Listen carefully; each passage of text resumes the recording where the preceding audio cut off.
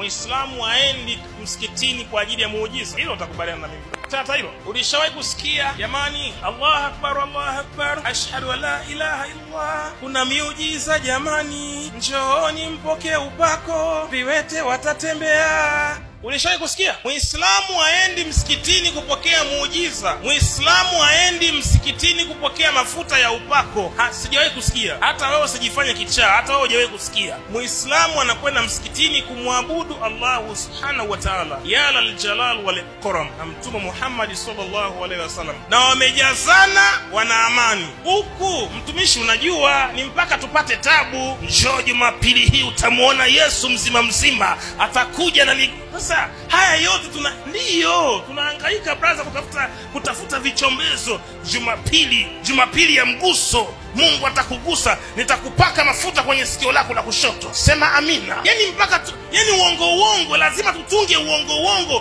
kuwalazimisha watu waje waabudu. Lakini hili alikutakiwa. Ulitakiwa wewe uje kanisani kwa mapenzi yako mwenyewe nikiumwa mguu sawa lakini mungu lazima aabudiwe